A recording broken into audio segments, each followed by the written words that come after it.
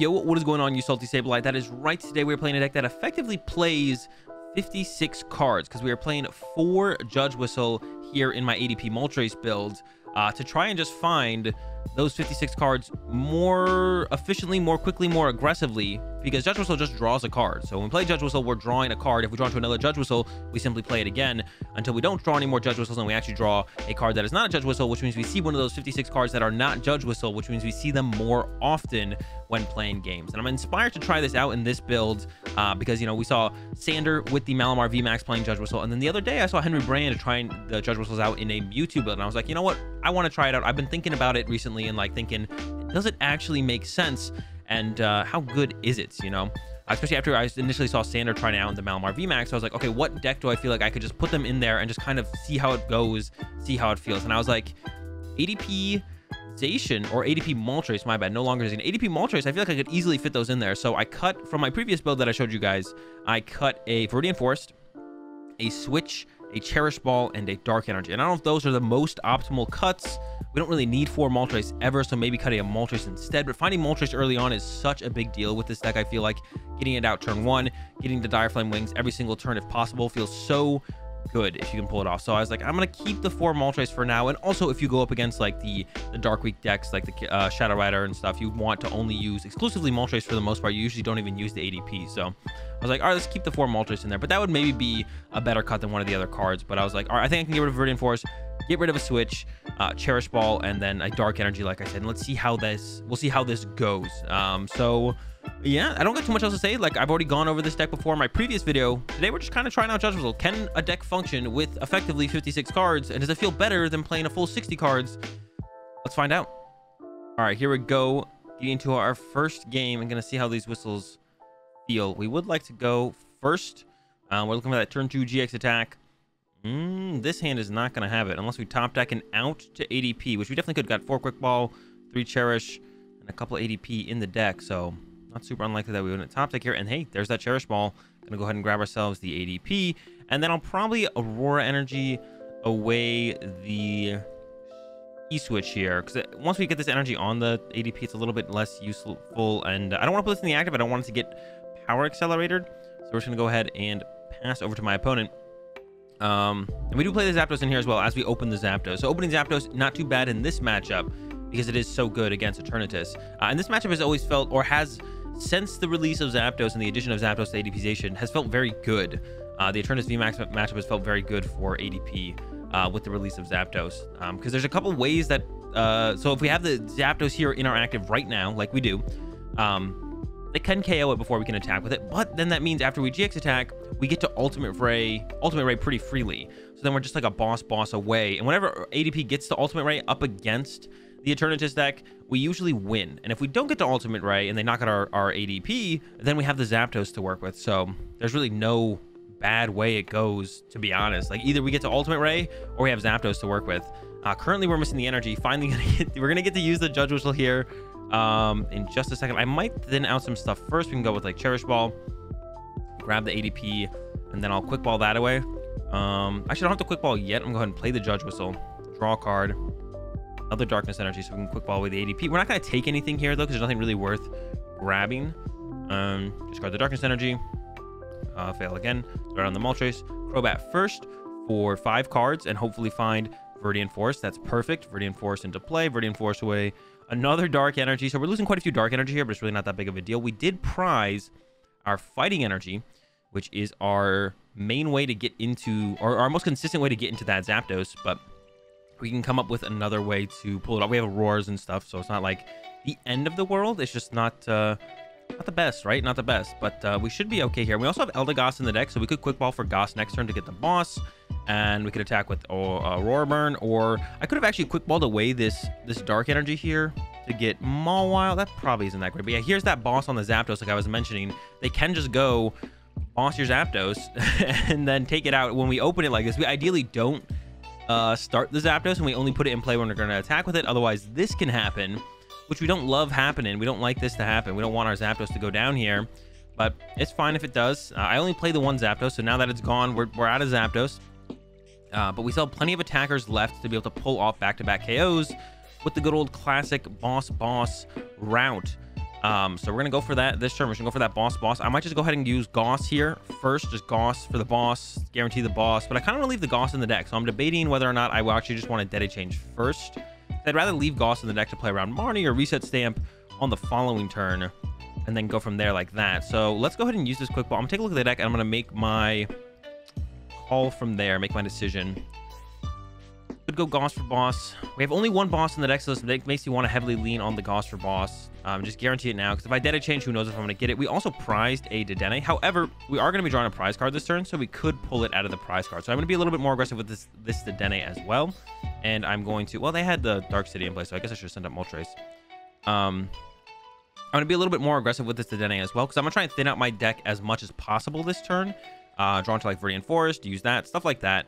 Um, go ahead and give me a Crobat and then Dede change like this.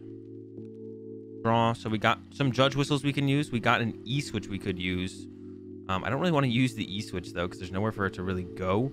Uh, this wouldn't fail, I guess. I could use the Cherish Ball, and we could grab Mawile.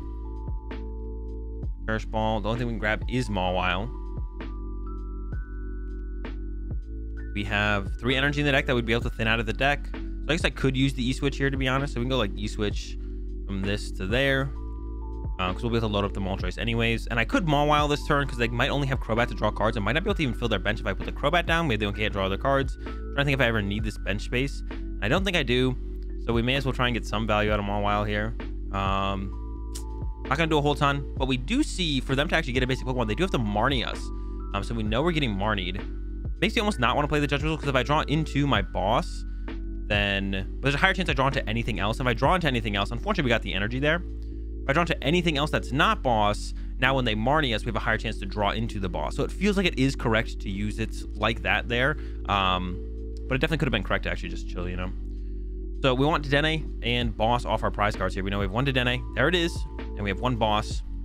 No boss there. So for the rest of the deck, though, um, we only have one quick ball out to the Dedenne anymore. So if they Marnie us, we're looking to draw a quick ball or boss. Uh, and this is what I was saying. Like if we if we unfortunately like have our Zapdos in play early on, like we did here, our opponent knocks it out, but then we get that ultimate ray. So our back-to-back -back attackers are just set up, which is one of the things that like ADPization uh, struggled with in this matchup before. It's like if you didn't get to ultimate ray, you need to use all your metal saucers efficiently, and like it's hard to get there, right? But in this new build of the deck, it's not as difficult. But it looks like we're whiffing here. Uh, my opponent doesn't have the bench Pokemon yet, and it has to be...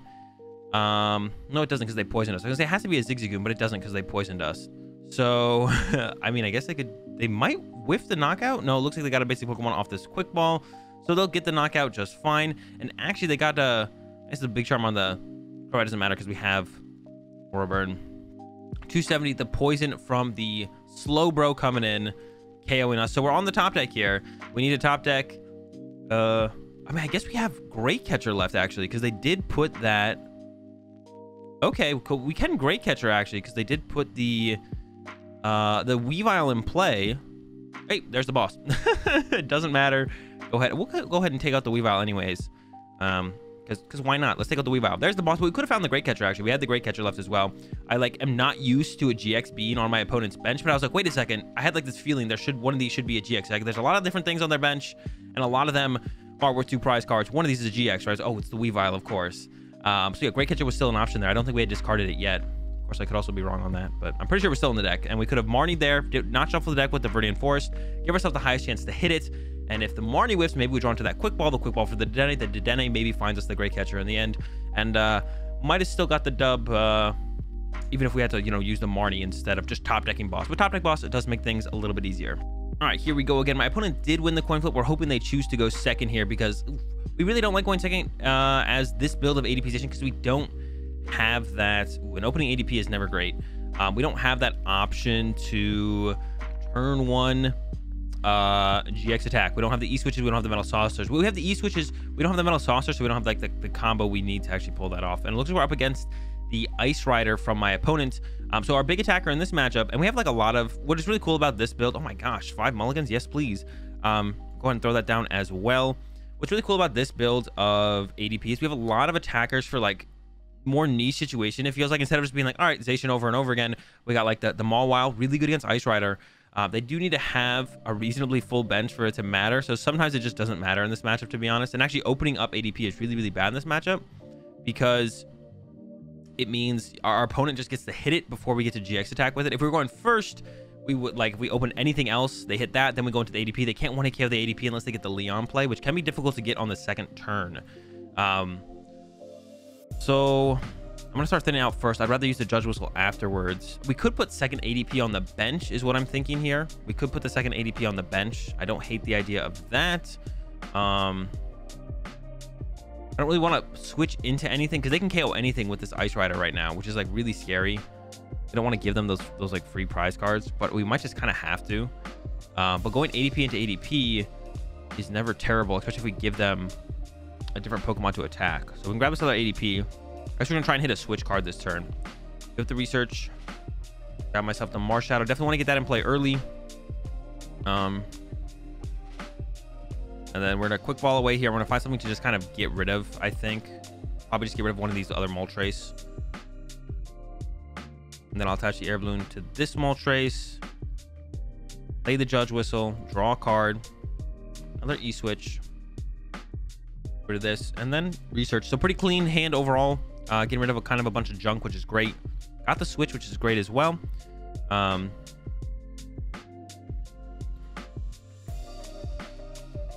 gonna go ahead and Viridian Forest away the dark energy Gonna go ahead and find myself that water. We did prize our metal energy, which actually really stinks to set up double Zacians. It's gonna or double ADPs. It's gonna really stink to set up. It'd be really hard to set up double ADPs here actually now, because we need to like hit double Aurora for the next ADP. Hmm, that's not great. Uh, maybe I will just leave this ADP in the active here then and kind of run around as much as I can between make forcing him to hit stuff, but then not be able to take knockouts is maybe going to be the game plan a little bit more now. Um, and I think I am just going to go ahead and pass from here. Yeah, give it over to my opponent. We'll see what they got. Yeah, I think I have to like let, I'm gonna let them hit this ADP, and next turn I'll do the switch attach. Like, hit them hitting this doesn't really do a whole ton because, um, I mean, it doesn't like really aggressively progress their board state. I mean, they could have the Leon play here. I guess they could have Leon like right now and just be like, all right, Leon, but he, they probably have to do the retreat Melanie play. This is often what they have to do on this turn is they retreat the Sobble or the Drizzile, then they, they get the energy in the discard pile to Melanie to the Calyrex to get the energy in play as well as moving the Drizzile and seeing all those extra cards as well. So uh, makes sense that they have to play it that way. And then, yeah, there's the Melanie play. Uh, they could have used, like, Viridian Forest. Try to draw some cards first to try and get an Air Balloon here to try and get an extra energy in play, actually. So they maybe um, air balloon or switch depending on which one they play. Maybe a little bit of a mistake there from my opponent, to be honest. Here comes another Drizzile. I'm sure Path to the Peak is one of the cards they're looking for here. Even though I have the Marshadow in play, they kind of want to work through the Marshadow, get the Marshadow out of play by, you know, putting a Path to the Peak in play and then being like, okay, did that. Now you used your Marshadow. Now you don't have it anymore. And I put another Path to the Peak in play and kind of go from there. Uh, actually, they discarded a boss here, which is really good for us because if they... Um, they discard that boss, it's going to be harder for them to chase this ADP. So this is actually really good for us overall. Attach here, which... Um... Viridian Forest away the Judge Whistle here. And also, like, little plays like this can be, like, we can just give up the Judge Whistle as well because it kind of is just a dead card or whatever. Like, a use. It's not a, it's not a card we care about. So, take a look through the deck real fast figure out if I want to grab anything here. I don't think I do. Is it maybe another Moltres to discard? So we're going to grab the Moltres to potentially discard. Going to go ahead and accelerate that energy with the Dire Flame Wings. Another play we could make is just go boss, boss, boss. It's going to be a little bit hard to do, though, after they hit this ADP, though, because then they're just like, yeah, two, two ADP hits away from winning the game, so... Um, I could also play a boss here and make things a little bit annoying for my opponent, I guess. I guess that's, like, better to do than not. Let's go with that. I'm tempted to bump the stadium now, but I I probably should leave what's it called around here. I should probably leave the Viridian Forest in play and leave my Marshadow in play to be like, that's why I have an answer for the potential path to the peak. But this this boss could be a little bit annoying. They might even whiff the the way to move this because they do need I mean, they don't have any Sobble down, so they can't get into a Drizzile to find a Switch or an Air Balloon, so they'd have to find that Inteleon, which they do play an out, a lot of outs to it, but we need to kind of, I don't know, going second in this matchup the way we did, um, and then having the, them having that clean turn too, we need to create some space somehow um, and find some room for us to get back into this because we're definitely behind here. So we need to we need to find some way to kind of get back into it a little bit for sure. So playing it like this, I think, is yeah, potentially gives us a little bit of time to, to work with. I actually probably should have reinforced Force away the Moltres. No, quick ball for the Moltres. I was like, wait, why did I get rid of the Judge Whistle over the Moltres? But I got the Moltres with the quick ball after I Viridian Forest away the Judge Whistle. So that makes sense. Uh, I don't think it was worth playing the Judge Whistle there because it was like a risk of like drawing into a good card that I don't want to quick ball. And then my hand's like a little bit like, what do I want to do with this? Um, but my opponent has put a ton of Pokemon in play. They put down the four. Um, so we're doing that that 130 and we can make it 100 so now 160 with the gx attack so we're actually koing the calyrex vmax with mawile so that's going to be our game plan game plan this turn is uh, get this ko with mawile now i do think uh, we are down to energy switch so it might be a little bit tough the other um i mean line we could have looked for here would have been like ultimate ray ko something off the bench set up the Mawile, especially if they go with the max lance again for full damage like they did on the previous turn they have to melanie again on this turn to attack, and they wouldn't be able to boss the Mawile. So maybe when I quick ball there, I should have got like Crobat or Dedenne to kind of leave my options open a little bit more to potentially be a little bit more aggressive. Um, there's that path to the peak. Um, we'll see what they do here, so we lose that. But the my metal energy is prized. I made note of that previously. We only have one E-switch left in the deck. Um, bump Mawile research looks fine to me, and I think it's just kind of what we have to go with here. Take a peek. Nothing. They got level ball, stamp, water. They can get that Drizzile out next turn. Play the research. Yeah, maybe I should have grabbed a Dene or, or uh, Crobat there to give, leave my options a little bit more open. But whoa, pretty good draw. Got the switch, got the Cherish Ball. Um, got the E-switch, I should say. So play the Cherish Ball. I think there's a Dene in here. There is. Two outs, two Judge Whistle, two Aurora. So we can get the knockout here for sure. So we can E-switch off of the Bird to the Mawile switch into the Moltres for right now. Crobat for two. Get those two cards plus two. You never know when it's going to make the difference. Play this Cherish Ball. I don't think there's anything to grab. Nope. Judge Whistle. Looking for those Aurora energy, helping us dig a little bit deeper here, and it could be the difference maker on this Dede change. We'll see. We still have one Judge Whistle left as well. There's the Aurora energy. Uh, not there. I almost put it on the wrong Pokemon.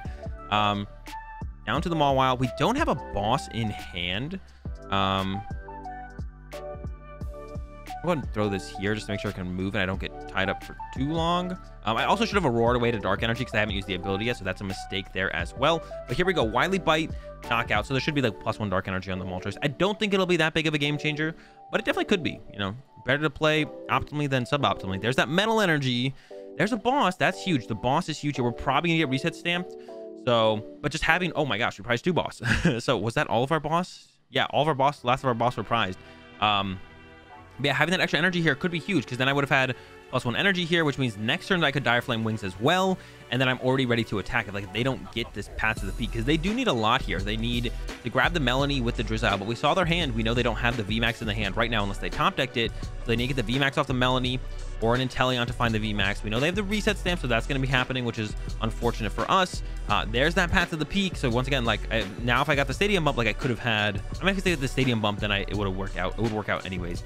We get a quick ball no stadium yet, but we can also ultimate ray this turn. Oh no, they do play the quick shooting Inteleon, so they're really putting us on a clock here, actually, unless they don't have the VMAX and don't take a knockout this turn, because then we have a little bit more room to work with. Um, their own Marshadow off the level ball. makes me think their hand is probably a little bit dead. Maybe I know what that card is, actually. What did they take? Um, no. Okay, so they can knock out this next turn. But actually, we're just doing enough, right? We can just retreat Ultimate Ray two prize cards. Hey, sounds good to me. And we top deck the stadium, so we could have attacked with Moltres there as well. Uh, GG's ADP does it again. Um, get this dub over this Calyrex VMAX. The Judge Whistles, I mean, they they felt pretty good. Like they, I never felt like, I mean, they're making the deck flow a little bit faster, right? A little bit more consistently. We only have so many cards we need to see to win games, right? We don't need to see all 60 cards. Um, sometimes you only need to see some of the 56. So if you can find more of the 56 more consistently, that's what the judge was trying to do. Felt pretty good. Um, I don't know. Need to test with them more though. See you guys tomorrow.